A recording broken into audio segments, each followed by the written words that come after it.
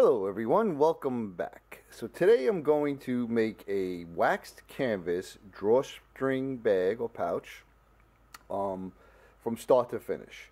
Now I did a wax canvas video a while back. It's got close to 8,000 views. Pretty amazing. Um, but back then I did it with a uh, the heat gun, which I have here, and with an iron. But I have since learned a you know a better technique that works for me anyway. And um, what I have here is a piece of duck cloth, which is 100% cotton. You can use a drop cloth. You can use, you know, any type of canvas that you have. Uh, you can even use uh, denim, as long as it's 100% cotton. And I have a little bit of a setup here. Um, what I have is a piece of cardboard down. I have some of these T-pins. Hopefully that shows up. And then underneath the duck cloth, I have a paper towel. So I just stretch it out and I put these T-pins in to hold it in the corners. Then I have here just a regular old foam brush. And then over here, I have my little mini crock pot, which has the melted wax in it. It's not totally melted yet, but it's good enough to start. And that's basically a Greenland um, mixture which is 90% paraffin, 10% uh, beeswax. Now, paraffin is much cheaper than beeswax. Um, I wouldn't use 100% paraffin. It, it, seems to make it a little stiffer than with the beeswax, but you can pretty much, you know, do a 50-50 mix, 80-20. Uh, you can use 100% beeswax. I, I have a lot of stuff with 100% beeswax in it. Pretty much could, you know, experiment and do what you want to do. But this is my new technique and I'm going to show you, like I said, from start to finish. So the first thing we got to do is we got to wax the canvas, okay? So I take my heat gun and I preheat the canvas. And then I'll put the wax on. And putting the wax on is very simple. You just dip it in. Dip it into your uh, wax and we'll start putting it on. So let me heat this up.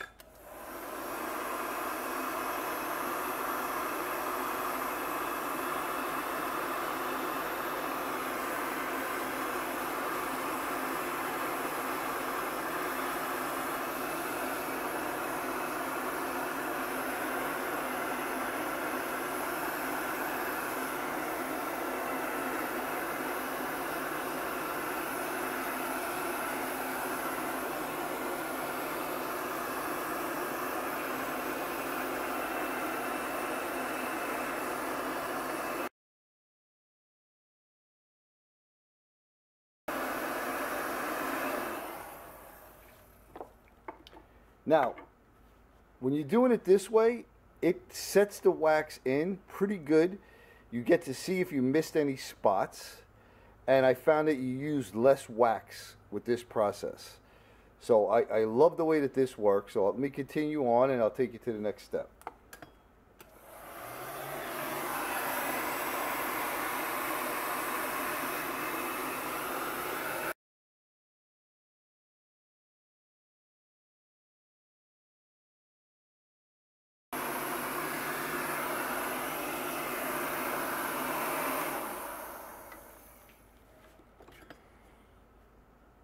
Okay, so now the whole thing is covered in wax, as you can see. And doing it this way uses far less wax. And it's much faster. So now we're done with the wax. I can unplug this, set it aside.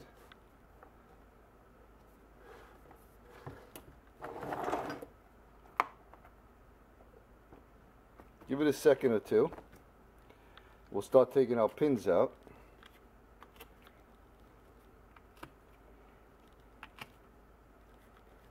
You want to get this off of the paper towel. Now, as you can see, if you watch the first video I did, the back was totally saturated. Now it's not, okay? And you can see that it's got very, very good coverage. It's already starting to stiffen up. And look at all the extra wax that went through. Now don't throw this out. This will make an excellent fire starter. Then the next step that I do is I'll put down a cleaner piece. And I'll look at this and I'll look for any spots if you see like this, this extra wax. Now you don't have to do this step. I mean, it's pretty much good to go, but I like to do this. And what I do is I'll put the heat on it again and you'll see it get very wet looking in certain spots. And when you see those, just take another paper towel, fold it up. Let's see if I can give you an example of that. All right. Probably not showing up, but if you look in this corner, there's a little extra wax. I'll put my heat gun on.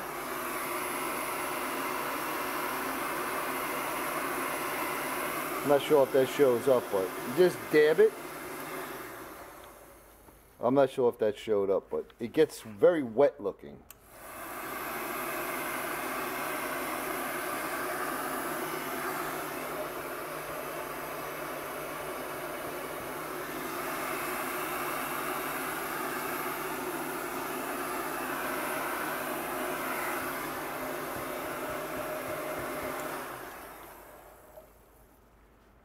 And that's pretty much it. You just dab out the extra wax and you're good to go. Now still, at this point, it's still very pliable. And you want to just leave this for a couple minutes, five, ten minutes, and uh, it'll stiffen up, and then we'll continue on. All right, so it's dried up, as you can see, stiff. Now there's some advantages of doing the um, waxing first. And one of them is you could use a utility knife to cut it now. And it cuts beautifully because it's stiff. So I'm going to square it up.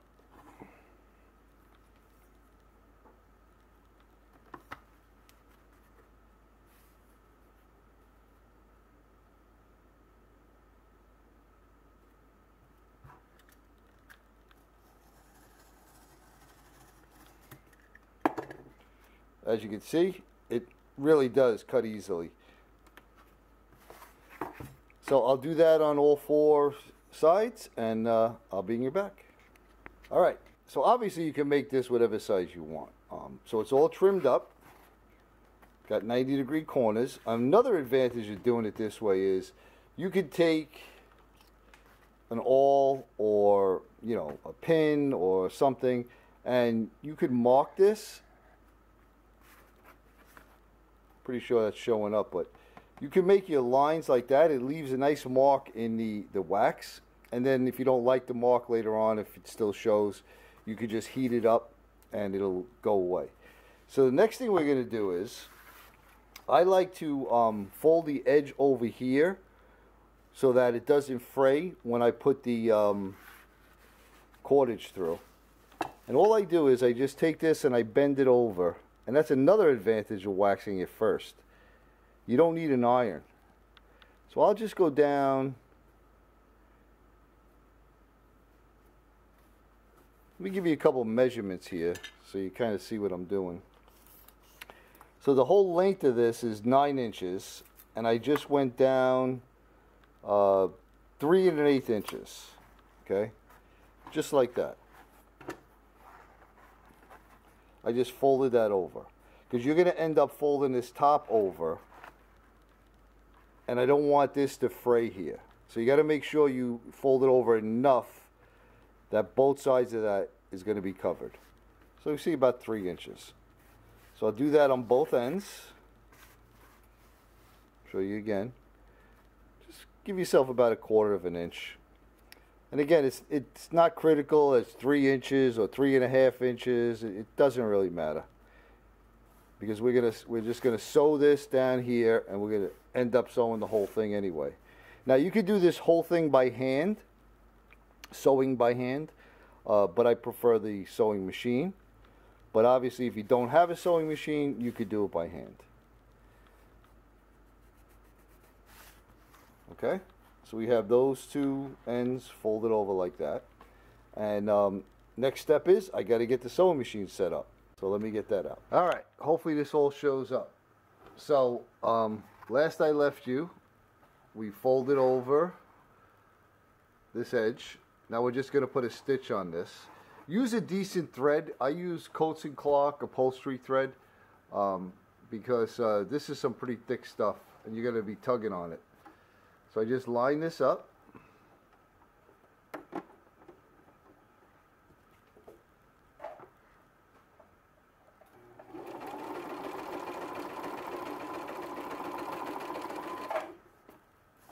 Don't worry about back stitching it or anything because you're going to fold that over. And that's it. Just throw a stitch down there, hold that in, trim off your excess. And do it on the other side.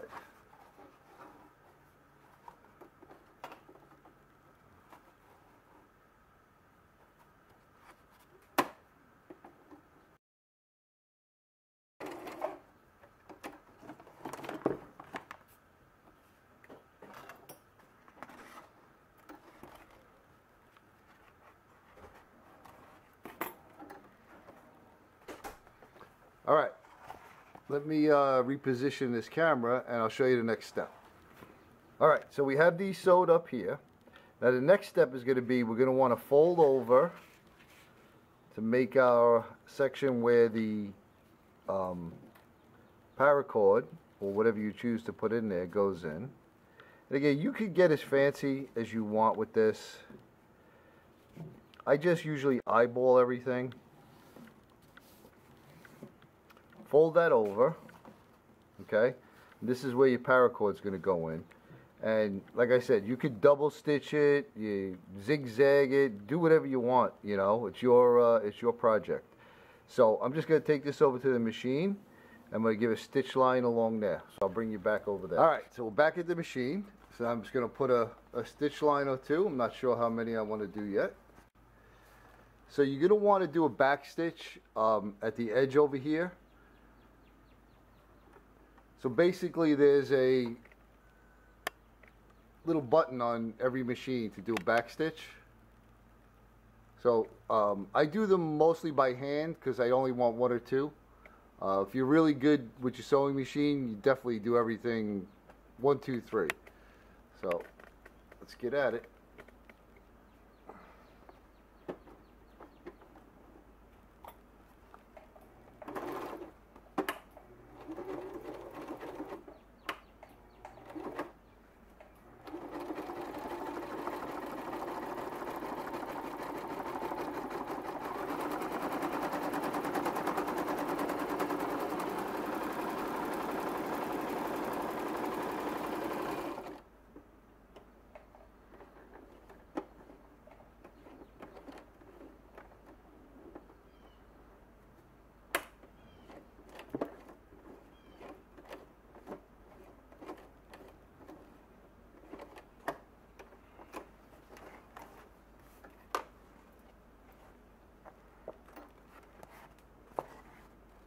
All right, so we got our line.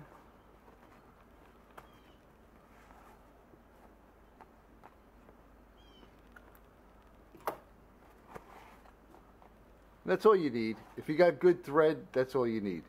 So now the next step is going to be, we're going to fold this. Well, actually, I like to put the paracord in first. So let me get that and I'll show you how to do that. All right, hopefully this is all coming out clear. I should actually check but it's very humid out today and uh, I do film outside slash halfway in my garage halfway out. Alright so now they make special tools for this. Oh I, I added a second stitch line. Um, again you could do whatever you want but they make special tools for this. But I just use um, this floral wire. And again it's easy to do it before you finish sewing it but you certainly can do it after and I'll just put a little bend on it in that direction and then slip it through. How many of us have used a coat hanger, how to put a piece of string back in, uh, drawstring back in? And then slip that on there like that and then bend it this way. So now the uh, the little tag end is facing this way so it doesn't grab onto anything when you pull it through. Get it started. Just pull it through. Make sure you leave yourself enough. You can trim this up later. Alright, I'll take you back over to the machine and we'll finish this up. Alright, so now we're going to want to fold this. Okay? And you want to have it it's going to be inside out. So the, the good side that's going to be showing is going to be on the inside. Okay, line up your corners. And again, great thing about waxing it first, it stays where you put it. Make sure you got your uh, pull out of the way. Now we're just going to throw a stitch right down here. What we're going to want to do is we're going to want to end up right here where we had that folded over and put that little stitch in there. So we're going to come right down here and, and we're going to stitch that.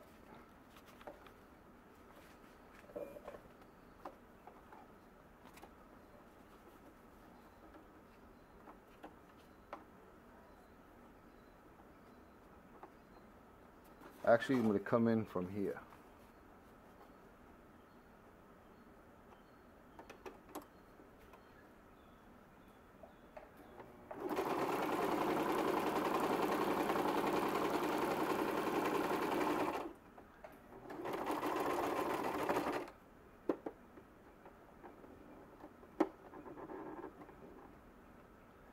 And then put a couple back stitches in.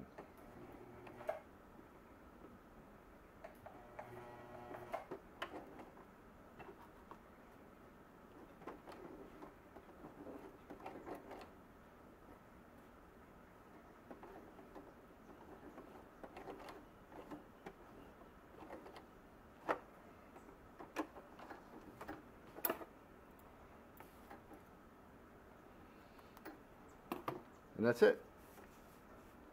Now we put a stitch across the bottom.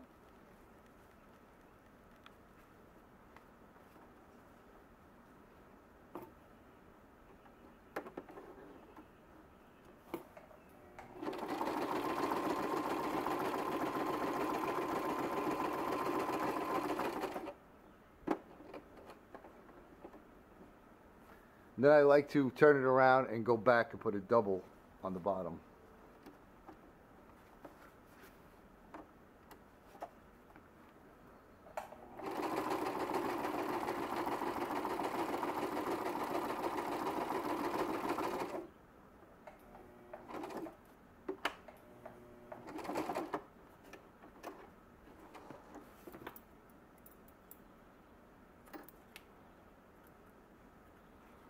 Now you could put a double stitch on the side here, which I actually think I will do.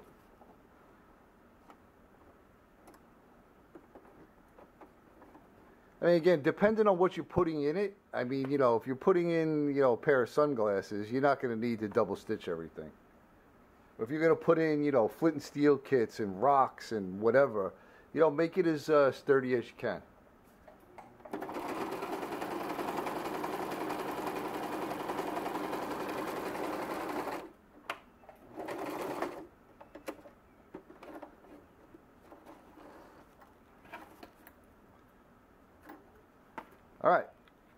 Take you back over to the uh, table and we'll show you what it looks like. All right, so the next step is we got to turn it inside out. And just, again, you know, you could wrinkle this all up. I actually like the way it looks once it gets uh, wrinkled up.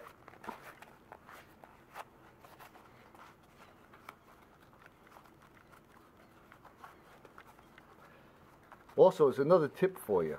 If you heat this up with the heat gun or a dryer, as you're turning it inside out, it's so much easier. So much easier.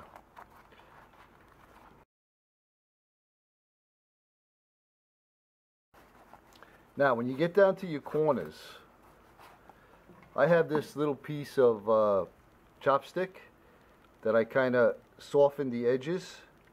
You want to be very careful when you're doing this because if you don't have a very soft edge, you could poke right through it. You just want to push your corners out.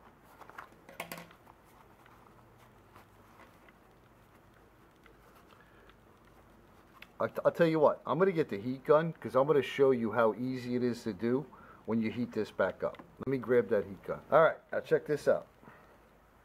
Got my heat gun.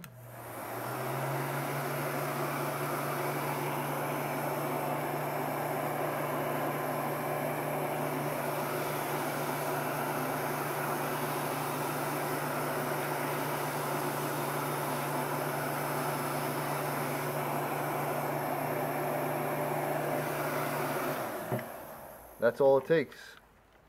Now watch how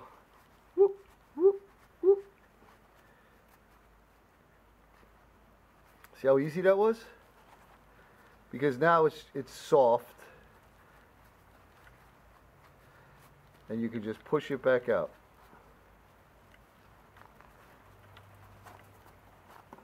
That's where the edge is there. Let me see if I get my hand in there. Push that out a little bit.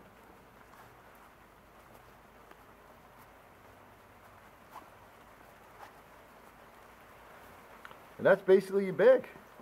Now you can get one of these little um, cord stops, put that on there. And then this is going to be stiff first couple times you do it.